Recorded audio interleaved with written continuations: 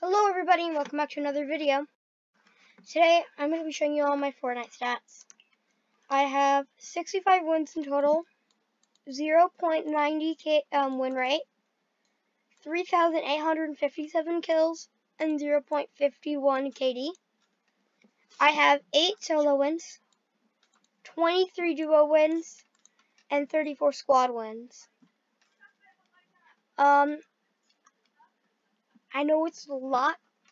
Uh, I have I know it's not a lot of wins on solos, duos, and squads, but those are just mine. Um, in the past seven days, I've gotten only one win, and that was a 2.7 win rate.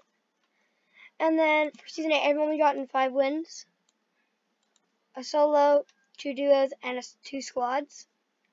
61 kills in season 8 and 0.43 KD. Season 7, I had 6 solos, 13 duos, and 9 squads. Um, those are my Fortnite stats. Um, if you want to see penguins, here they are. There's season 8. Here's his lifetime. You guys can go check it, check them out yourself if you guys want. Link in the description of both. Um, but catch you all next time. Peace.